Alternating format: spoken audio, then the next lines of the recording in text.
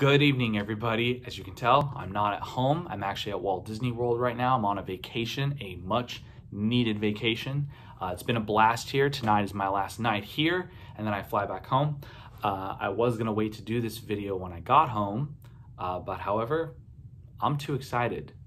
I'm very, very excited to talk about Star Wars and the massive bomb they have dropped on us. 10 new titles some of which are movies, some of which are television shows. We're getting Kenobi, Cassian Andor spinoff, and Ahsoka Tano spinoff, Rogue Squadron.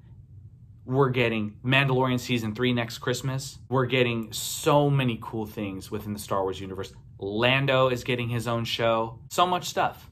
There's a story, uh, I believe it's called The Acolytes, 200 years before episode one.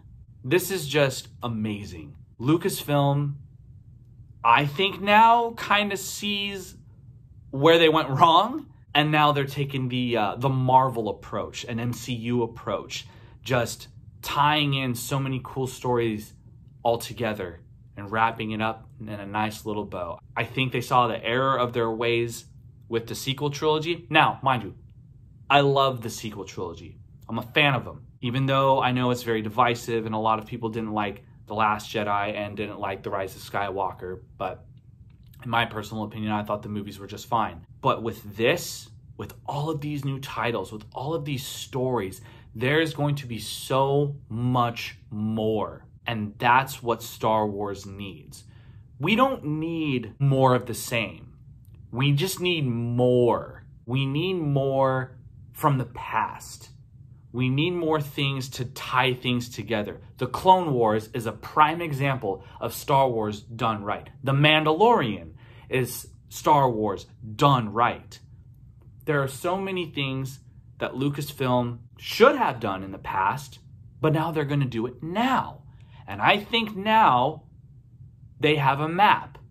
They have a map of what needs to be done. They have someone overseeing this whole operation, and they're going to get it right. They have their own Kevin Feige.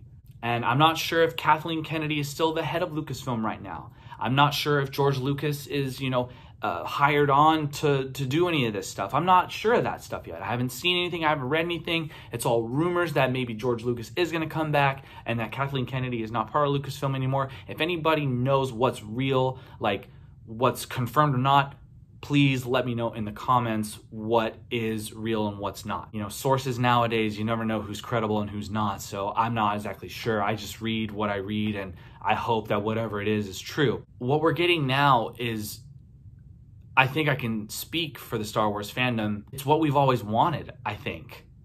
Because as much as we love the the the story of the Skywalkers, what else do we have?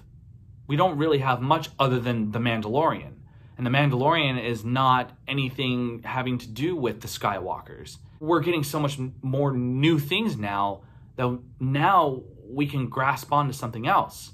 And I think that's what we've been wanting this entire time. At least I know that's what I've been wanting this entire time. Again, I love the sequel trilogy. I love that the Skywalker saga is what it is. But I wanted to see more. That's why I like Rogue One a lot, is because while it's within the Skywalker saga, it's different. It has nothing to do with Anakin Skywalker, Luke Skywalker, anything. Has nothing to do with it. It had to do with stealing the Death Star plans. And with Solo, we got to see how, you know, he came to be who he was. I just think that this is something that we've been wanting for a while, and now we're finally getting it. I am beyond excited.